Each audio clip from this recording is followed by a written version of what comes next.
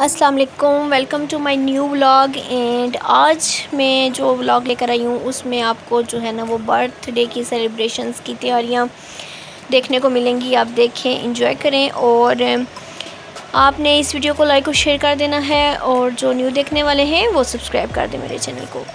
तो हर साल मैं लगाती हूँ जी अपनी सिस्टर और ब्रदर की बर्थडे पार्टी की वीडियो थोड़ी सी हम जो घर में सेलिब्रेशन करते हैं, वो 22 और 23 जून को बर्थडे होती है। तो हम एक ही साथ मना लेते हैं और फिर मैं वीडियो बना के आप सबके साथ शेयर करती हूँ। तो यहाँ पे मेरी सिस्टर ने हैप्पी बर्थडे का जो है, वो सेटअप किया है।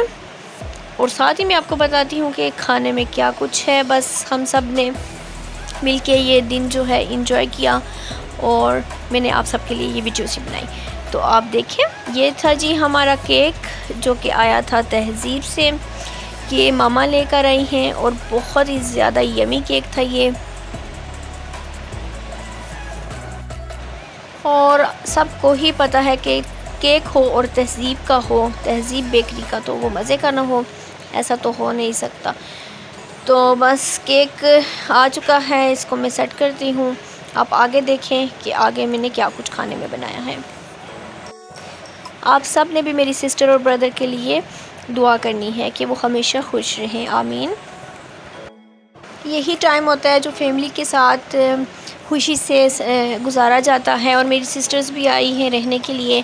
तो ज़्यादा मज़ा आया है इस दफ़ा क्योंकि हर दफ़ा वो नहीं आ सकती।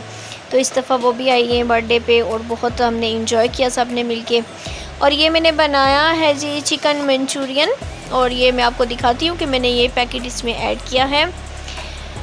मैंने ज़्यादा बोनलेस चिकन लिया है और उसके छोटे छोटे सी क्यूब्स में मैंने उसको कट किया है और ये इस तरह से मैंने ये मसाला पैकेट ऐड किया है। और ये मैं बना रही हूँ चिकन मंचूरियन और साथ इसके मैं बना रही हूँ चिकन फ्राइड राइस। और ये बर्थडे सेलिब्रेशन के बाद डिनर करेंगे और डिनर में होगा जी। ये fried rice and chicken Manchurian ये चिकन है, इसको भी मैंने क्यूब्स में कट कर लिया है। ये है जी शिमला मिर्चें एंड गाजरें, इनको भी मैं अभी और ये साथ मैंने चना चाट का भी सामान रेडी कर लिया है।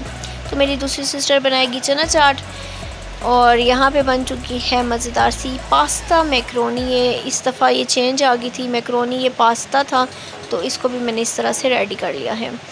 ये भी बहुत ही मज़े का बना था टेस्ट बहुत अच्छा था इसका।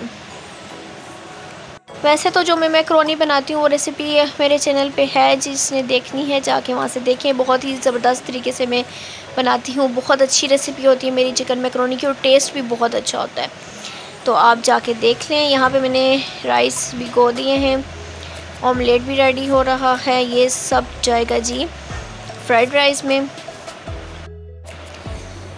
चना चाट बन जाए तो हम चीज़ें सेट करके रखेंगे और केक कटिंग होगी और सेलिब्रेशन होगी। बस मेरा आज का ब्लॉग जो था ना, वो छोटा सा यहाँ तक ही था। उम्मीद करती हूँ आपको पसंद आया होगा। दुआओं में याद रखिएगा, अपना ख्याल रखिएगा। मैं आपसे मिलूँगी किसी नए व्लॉग में, किसी नई वीडियो में, किसी नई रेसिपी के साथ, किसी नए व्लॉग के साथ। तो तब तक मुझे दीजिए इजाज़त। अल्लाह हाफिज़।